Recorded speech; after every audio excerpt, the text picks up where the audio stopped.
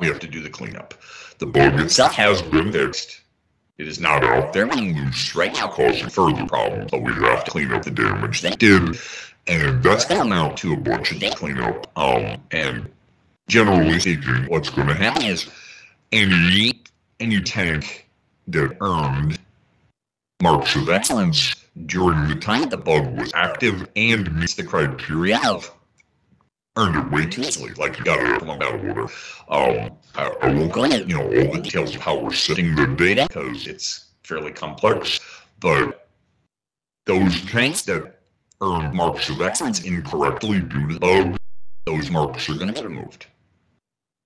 Uh, those players who already have marks of excellence and and so those numbers fluctuate a lot we are going to set those marks excellence back to our last known good position, which was obtained prior to the